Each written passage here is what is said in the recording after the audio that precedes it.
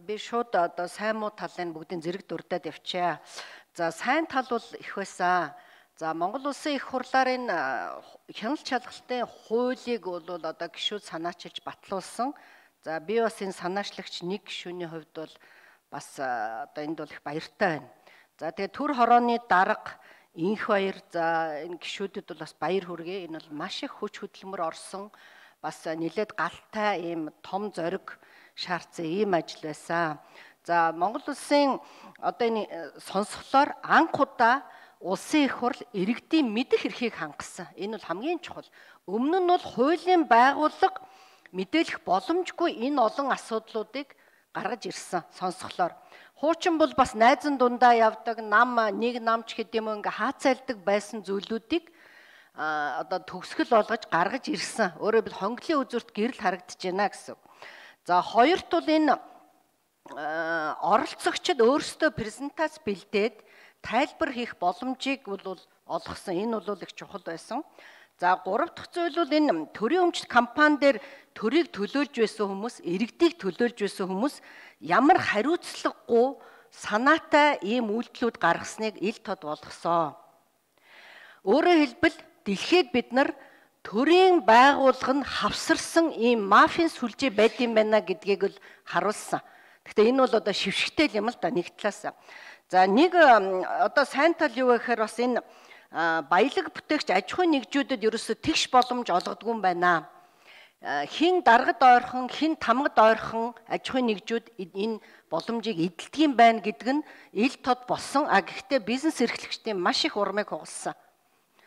За баялаг бүтээгчид энэ бид нар тэгш боломжийг хангах хэвээр хангах чиглэл рүү төрийн бодлогыг чиглүүлэх хэвээр байтал энэ оролцсон аж ахуйн нэгжүүд хулгайн замаар татвараас сутаас нь энэ бол одоо маш ноцтой ийм гинт хэрэг дэмжсэн ийм одоо үйлдэл болсон. За нэг ноотон асуудал юу гэхээр төрийн маш чухал бичиг баримтуудыг устгасан гэсэн ийм зүйл гарч байгаа. Би одоо дүүрэгт байсан маш нарийн одоо архивын стандартыг мөрддөг. Гэтэл яагаад энэ бичиг баримтуудыг устгах вэ? Одоо инх хоёр сайд эдгээр хүмүүсэд эрүүгийн хариуцлага хүлээх, ялагч хангах ийм хуулийг оруулж ирэх ёстой. Яхаараа энэ төрийн бичиг баримтыг ингээд дураараа устгах юм. За сөрөг талууд бол байсан.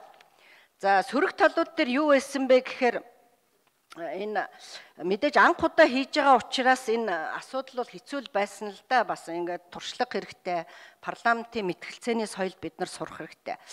Гэрчлэх гэж ирсэн хүмүүсийг бүгдээрнгийн ерөөсөө нийгэм нэг юм гемт хэрэгтэй юм шиг бас нэг хүлээгээд авцсан тал бий ингээд сошиалор гарч байгаанууд нь. Тийм учраас энэ дээр бид нар жоохон ялгаатай хандах байсан хоёрдугаарт онцгийн хамааралгүй хит олон гэрчийг дуудсан энэ цаг алдсан нь бол яг гол буруутай.